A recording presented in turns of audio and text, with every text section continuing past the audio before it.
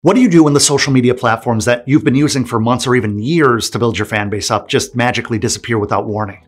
Well, in the past 48 hours, that's exactly what happened when Facebook, Instagram, and WhatsApp stopped working.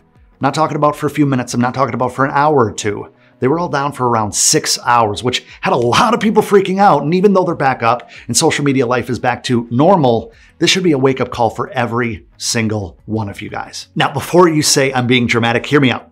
I know some of you guys right now are like, Adam, bro, it isn't that serious, man. Don't you reel me in with a clickbait video. and I can assure you this video is not clickbait, but what if they didn't come back? Or more realistically, what happens if you wake up and your account was hacked, or even worse, deactivated or deleted overnight?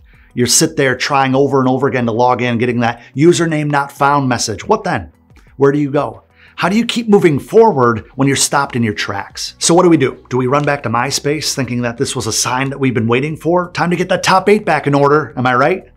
Well, I'm Adam Ivy and I'm here to answer those questions. In this video, I'm to show you how you can take control of the traffic that you receive with magnetic music marketing, then build out a bulletproof social ecosystem that'll continue to grow even when those platforms go down. More importantly, I'll show you how you could take ownership of your audience rather than renting their attention on a platform that you have zero control of. And don't worry, I'll show you actual examples of this later uh, for artists and producers, so sit tight. So before I get ahead of myself, I think it's important that I break down what I mean by renting attention.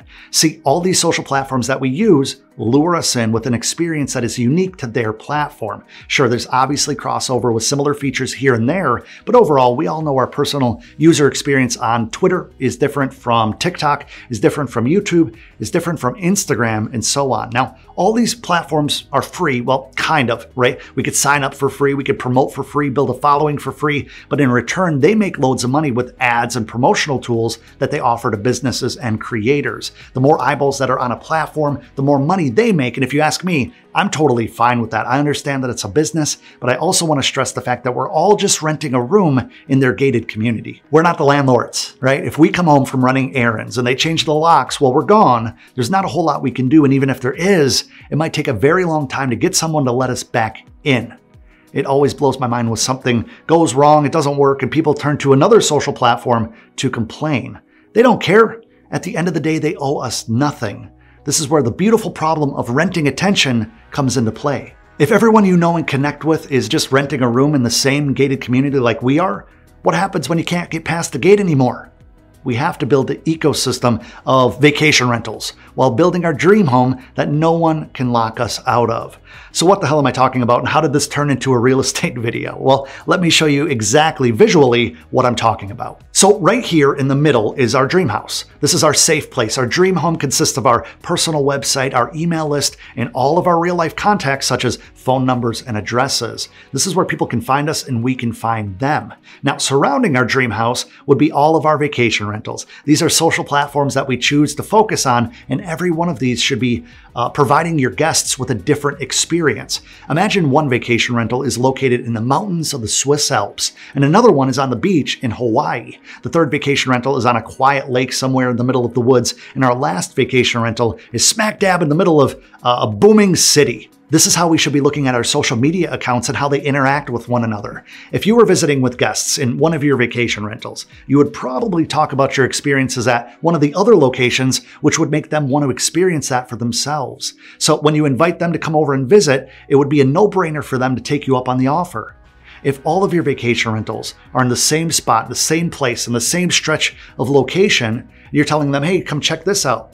Oh, is it the same setup? Yeah, it's the same setup then why would they want to follow you there? Give them unique experiences. We have to build out an ecosystem that takes our audience from one place to another while providing them with different experiences that all travel back to the central hub. This is how one person can become a fan on uh, multiple different platforms and they'll connect with you on multiple platforms while also inviting you into their world by providing a direct link to them via email. This is the ultimate digital handshake. By doing this, we build out a connection path that is so strong that even if one, two, or three platforms vanished overnight, you'd still have access to your audience.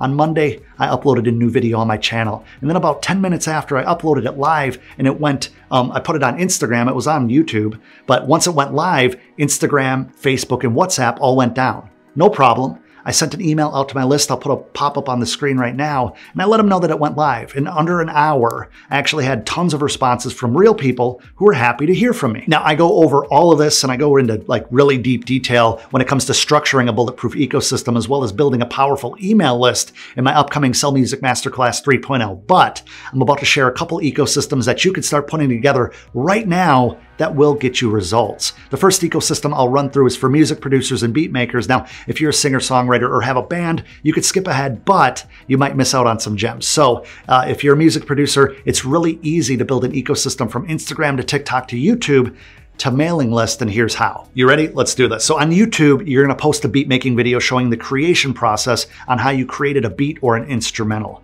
From there, you can invite rappers or singers to join you on TikTok to perform their best material over the instrumental you created in a contest type environment. You shoot this content all at the same time, guys, so it's not a crazy workload. Now on TikTok, you announce the contest or the challenge, and you tell your audience that you're gonna be doing live submission reviews and announcing the winner on Instagram. You could set up a landing page for the contest within an email service provider such as MailChimp and explain on Instagram how they could sign up to enter the contest uh, at the domain name that you set up that sends them to the landing page. You can do that very quickly. Uh, then, as supporting content, you can promote the various aspects of the contest within your ecosystem that then provides them more updates in email form uh, that includes specific lists of things that can do uh, and a call to action that loops them back over to the video that you originally made on YouTube, right? Now, if you're all new to this, that might seem very confusing, but I promise that everything I just explained could easily be put into play in a single day, if not a single hour. Uh, and the beautiful thing about building these ecosystems is that we can jump into these ideas quickly and build on multiple different platforms at the same time, one feeding another, feeding another, uh, all providing different experiences for our audience along the way. Okay, so let me break down an ecosystem for all my singer songwriters and bands out there. A very straightforward ecosystem that you can create around a new release could look something like this. Follow me. You share lyrics on Twitter and then give them a call to action to watch a making of or behind the scenes video, including said lyrics over on Instagram or TikTok.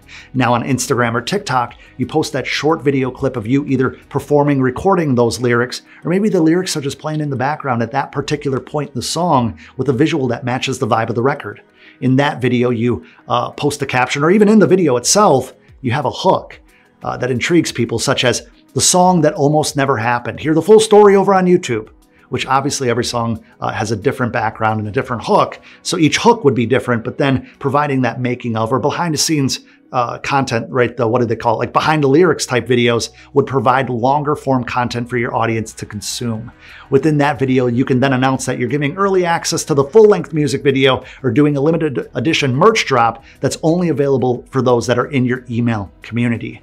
That call to action then sends them to a landing page where they'll be able to enter their email and you'll be able to collect their email. With that being said, these are two examples that you can take influence from and massage into place to suit your own voice and audience. Keep in mind that building an email list takes some time and not every ecosystem will have to be full circle. Sometimes our audience flow might just be from one platform to another, which is fine, but it's important um, here to understand that you have to have the balanced fan base that you can continue to connect with at any time, even if one of your favorite social platforms goes down. We want to take ownership of our career, which means we need to take ownership of our fan base. Now, if you've enjoyed these breakdowns and have found value in this video, then I have some great news. In my upcoming Sell Music Masterclass 3.0, I'll be giving away my most guarded secrets, tips, strategies, techniques, and every other buzzword I can jam into this video. It's my step-by-step system, people, and registration is going to be open to the public on October 11th. And as I've been saying, the Sell Music Masterclass 3.0 is an absolute monster. 3.0 is completely reinvented and amplified to a level never before seen. It contains everything that I've ever learned about magnetic music marketing and the systems I've developed around it. I'm going to take you in. I'm going to show you the step by step, start to finish system and show you the entire game plan. This is not something you're going to want to miss. So you're definitely going to want to check that video out. Now, if you haven't yet, sign up for the early bird waiting list so you can have access to that registration page a day before it goes live to the public. All you have to do is click the link under this video somewhere on the screen, your name and your email. It's all you need. And you're going to be first in line to get in when registration opens. 3.0 it's going to be a game changer for a lot of you guys, and I'm looking forward to sharing those experiences with you. Now, hopefully you found value in this video. If you have, let me know in the comments, do the thumbs up and all that good stuff. I can't wait to share the next video with you.